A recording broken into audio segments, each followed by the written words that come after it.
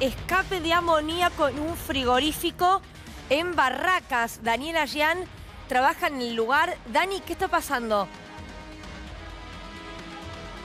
Hola Luli, buenas tardes. Estamos trabajando en la calle San Antonio, entre Villarino y Luján, en el barrio de Barracas, donde cerca del mediodía operarios estaban trabajando en un condensador, en un frigorífico, con tareas de mantenimiento y se produjo una fuga de amoníaco, un químico que obligó a evacuar todo el lugar, las instalaciones y también las zonas aledañas, un jardín de infantes donde tuvieron que evacuar a 91 niños, eh, también a los maestros y alrededor de 50 operarios que estaban trabajando en el lugar. Es una zona de empresas, con lo cual ante la peligrosidad del amoníaco en el aire tuvieron que evacuar también las empresas cercanas para que ninguna persona tomara contacto con este químico que puede llegar a causar hasta quemaduras en la piel eh, debido a la intensidad que tiene, además de eh, lo que es eh, irritación en las zonas eh, de respiración y bueno, algunos otros problemas para las personas que tengan que estar en contacto muy cercano. Está trabajando bomberos de la ciudad de Buenos Aires, afortunadamente no hay ninguna persona herida hasta el momento, sí se han acercado ambulancias del SAME. Como pueden ver, estamos trabajando a unos 150 metros del lugar donde se produjo la fuga. Repito, es un frigorífico del barrio de Barracas donde se estaban haciendo tareas de mantenimiento y esta distancia se debe sobre todo a lo peligroso que es el, amoníaco, el contacto. Por eso el trabajo tan rápido para poder controlar el lugar y por supuesto eh, el trabajo de bomberos que continúa. Ahí vemos que llega otra de las camionetas. Se trasladó lo que es la Brigada de Emergencias Especiales. Eso es lo que está trabajando ahora en el lugar. Vemos que están vestidos con algunos trajes eh, especiales justamente para no tomar contacto con el amoníaco y también pidiendo a la población, a los vecinos de esta zona que eh, se alejen del lugar para no sufrir eh, ninguna complicación.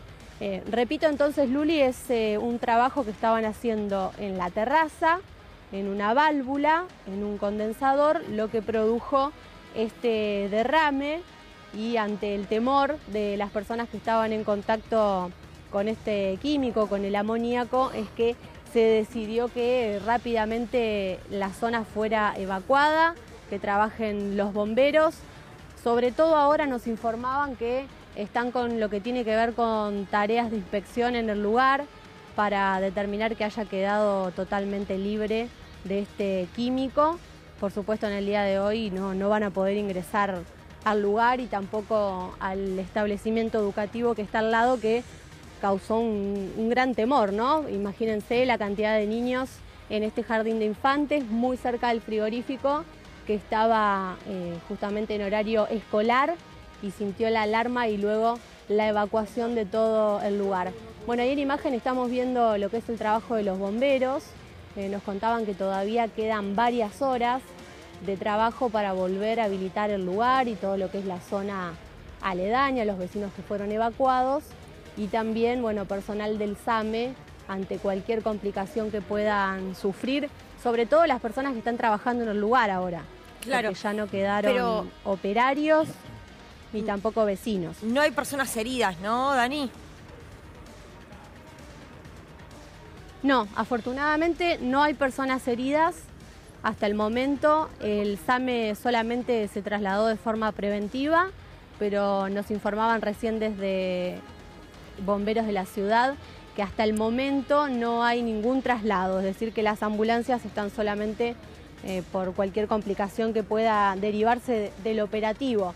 Eh, es una zona bastante eh, comercial, digamos, donde hay, eh, em, no comercial de, comercios a la calle, sino eh, que tiene que ver con empresas, con producción, por eso hay poco movimiento, pero de todas maneras se hizo una evacuación preventiva de 200 metros en el lugar. Y mm. esto tiene que ver justamente con lo peligroso que es el amoníaco.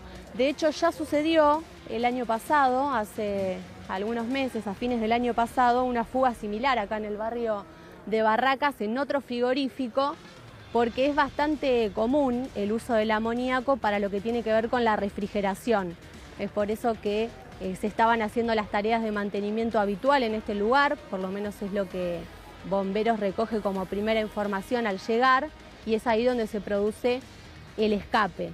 Habrá que ver, y esto seguramente lo van a investigar también, si había algún problema en el lugar o si simplemente se trataba de un mantenimiento habitual para que esté en condiciones, ¿no?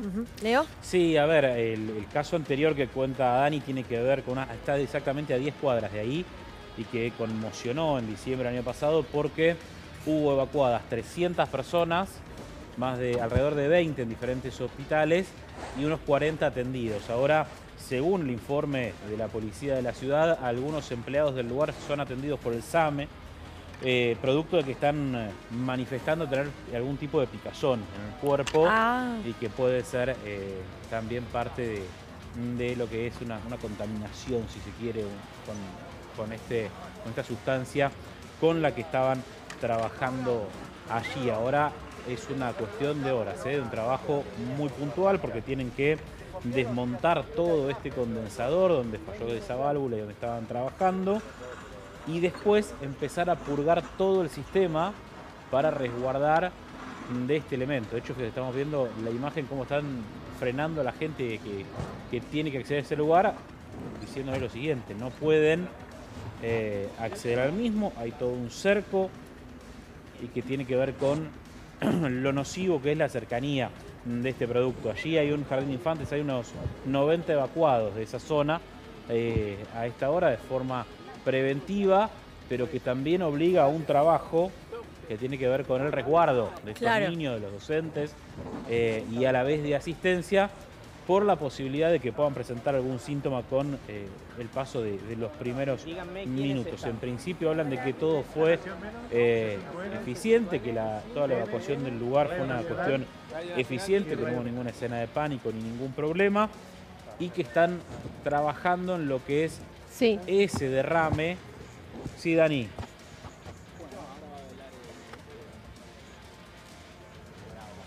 ¿Dani?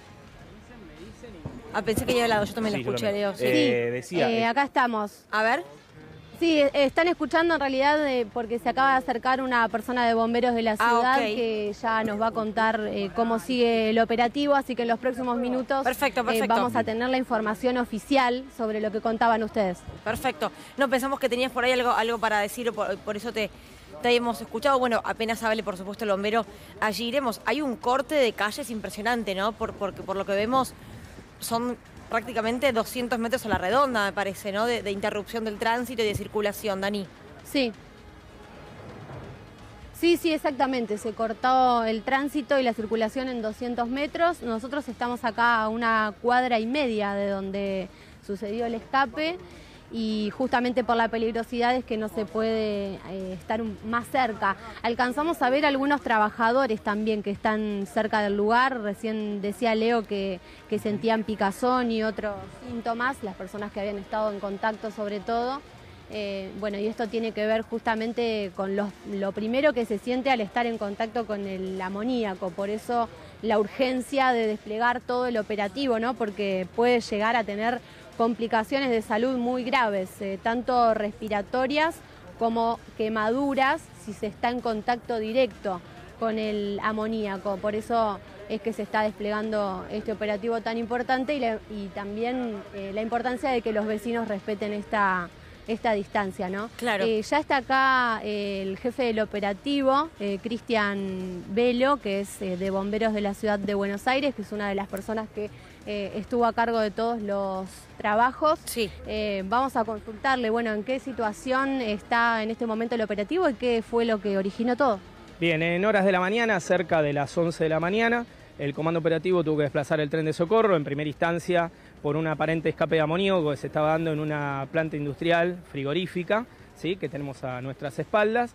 Eh, en primera instancia, como bien les decía, intervino la estación Tres Barracas, que hizo lo que es la primera respuesta, se interiorizó un reconocimiento, una identificación y pudieron corroborar que lo que sería el nivel de azotea de la terraza, en uno de los condensadores, estaban efectuando tareas de mantenimiento y se había dado una purga accidental de amoníaco en estado gaseoso.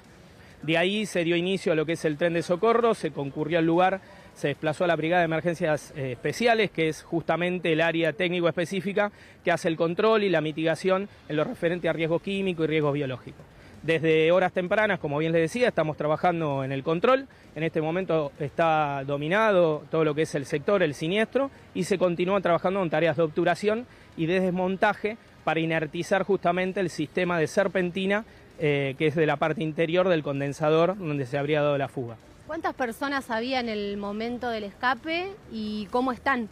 No, en eh, lo que tiene que ver con las personas propias de la planta, se evacuaron normalmente, ¿sí? No, no hubo lesionados, no hubo trasladados, eh, solo dos que iban a ser atendidos, pero desistieron por personal de SAME, eh, ellos oportunamente lo refirieron así.